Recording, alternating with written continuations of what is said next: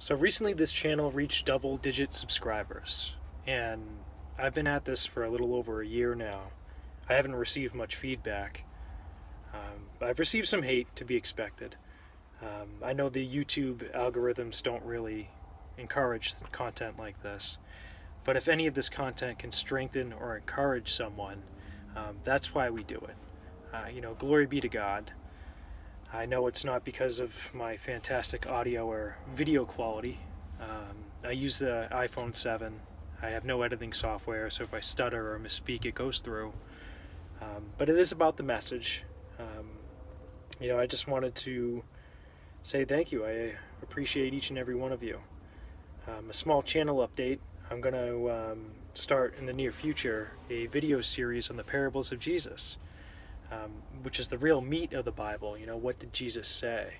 Some of them are um, pretty clear cut and dry, and then others um, have some depth to them. They have some onion layers that you can peel back. So um, that's something that um, we can hopefully get some discussion about of the meanings of the parables of Christ. Um, yeah, uh, I'm grateful. Thanks, guys.